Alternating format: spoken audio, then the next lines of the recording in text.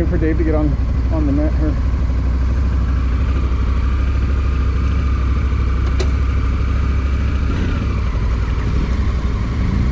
Um, I think he will before he breaks off. I think he's gonna ride with us probably. Okay,